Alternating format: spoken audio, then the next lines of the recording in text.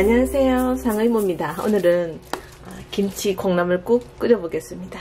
우선 콩나물을요 제가 씻어 왔거든요. 이게 한 마트에 파는 콩나물 한 반 봉지만 하셔도 됩니다. 한 봉지 다 쓰셔도 되고요. 콩나물을 원하는 만큼 넉넉히 넣고요. 이거 먼저 익혀야 되거든요. 멸치 육수입니다.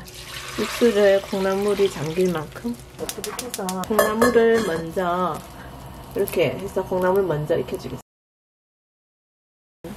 뚜껑 덮어서 한 2분만 끓이면 비린 맛이 없어지거든요. 근데 김치를 저는 이렇게 김치를 가위로 대충 잘랐습니다. 한, 한 대접 정도 됩니다. 김치 국물도 같이 이렇게 좀 넣겠습니다.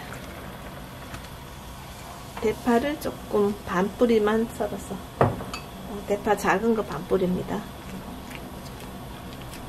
자, 지금부터는 이제 뚜껑 열어놓고 끓이셔도 상관없습니다. 혹시 더 빨갛게 하시고 싶으면 여기다 고춧가루 더 넣으셔도 돼요. 멸치 육수 진하게 끓여서 이렇게 하시면 됩니다. 이건 이제 육수 맛이거든요.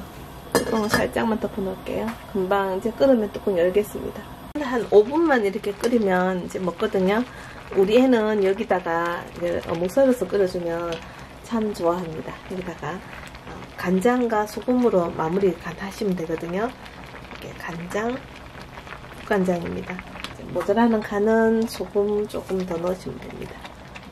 여기서 간을 이제 맞추시면 돼요.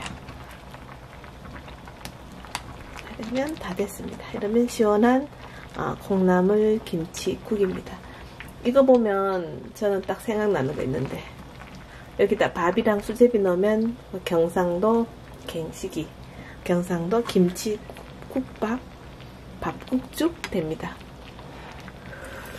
음. 시원해요. 와 그거 같아요.